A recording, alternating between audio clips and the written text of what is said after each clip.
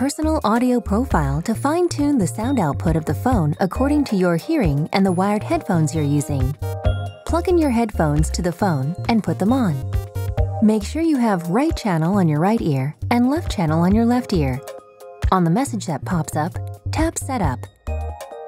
Choose Listen to Frequencies.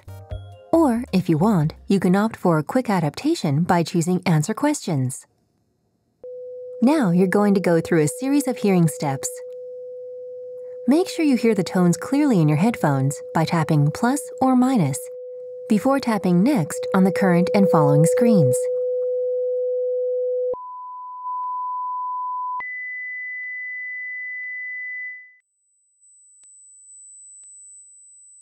When you're done, preview the profile by tapping Play Audio.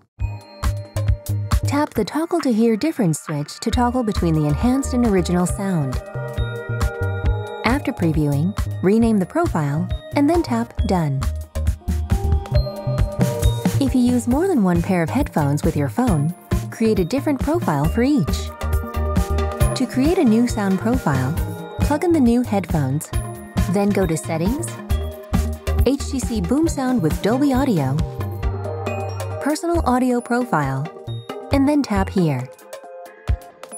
With Personal Audio Profile, tune the phone's audio output to suit your hearing.